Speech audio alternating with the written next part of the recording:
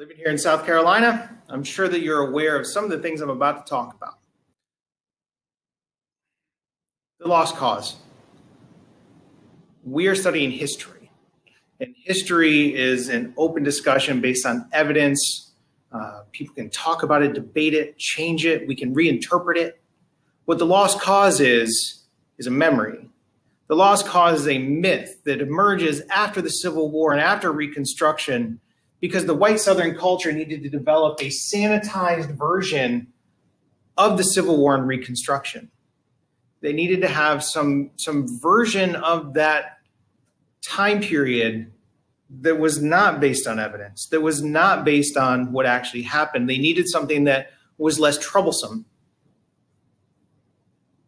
A myth emerges based in the culture, the, the, the writings, the art, the poetry that kind of can be wrapped up in what we call the lost cause. And here are some of the key factors. Uh, one of the biggest ones is this idea that there's no slavery here. The cause of the Civil War wasn't slavery. And yet we have their words to know that that's not true. I read through the, the South Carolina Declaration of Secession, the Mississippi Declaration, the cornerstone speech of Alexander Stephens. We know that slavery was the cause of the war. The extension of slavery into the West, particularly. They they wanted to say that it was just about states' rights, and we know that that's not really true either, because the main thing that South Carolina complained about in their Declaration of Secession was the fact that the 14 northern free soil states were not following the federal Fugitive Slave Act. So if the federal law was protecting slavery, then they were more than happy with the federal government taking away the northern states' rights they were passing things called personal liberty laws, which helped protect those runaway slaves. So we know this is not really true, but they didn't. But it's embarrassing to say that we fought a war for slavery. It's about states' rights. And after Reconstruction, that's how they're implementing Jim Crow. So they needed to say that Jim Crow was okay, so states' rights was okay.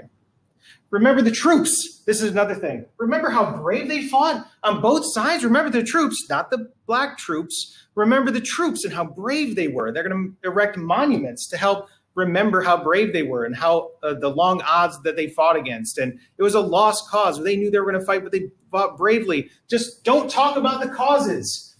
It wasn't about slavery. Don't just don't talk about the causes. We're going to remember the troops so we can forget the cause they're going to create this myth that the slaves were happy. In fact, there's going to be some statues built uh, that talk about this. Um, Gone with the Wind, there's a character referred to as Mammies, who sometimes is referred to as uh, Mammy uh, of uh, the, I forget the name of it, but this idea that they were happy on the plantation and they wanted to go back. Um, General Lee, in particular, is going to be honored as sort of this deified, honorific guy. He was an honorable and noble soldier who just wanted to fight for his homeland and he had no views on slavery, which is just not true. He managed a plantation. He was known for being a particularly cruel master. Uh, Jackson, Stonewall Jackson, is also going to be honored in uh, this way. And um, worst comes to worst, look at the plantations. Weren't they pretty? Look at those big hoop skirt dresses. Look how nice the men look in their uniforms, right? And it really is just a, a total uh, memory of the past that didn't exist. And it's a way to deify this white culture of the South before the war and ignore all the things that happened as a re- uh, that led to the war. And they're going to build monuments, lots and lots of monuments. There's going to be monuments to Lee. There's going to be monuments to Calhoun. There's going to be monuments to Ben Tillman. There's going to be monuments to Confederate soldiers. There's lots of monuments to Nathaniel Bedford Forrest that are still up. That uh, he's the guy that started the Ku Klux Klan. So the lost cause mythology is going to permeate everything throughout the next 80 years or so, all the way up into the civil rights movement before we finally get people asking different questions about the past. And I know this video is going long, but it's on my mind. Um, the other thing about it, so uh, let's just stop there.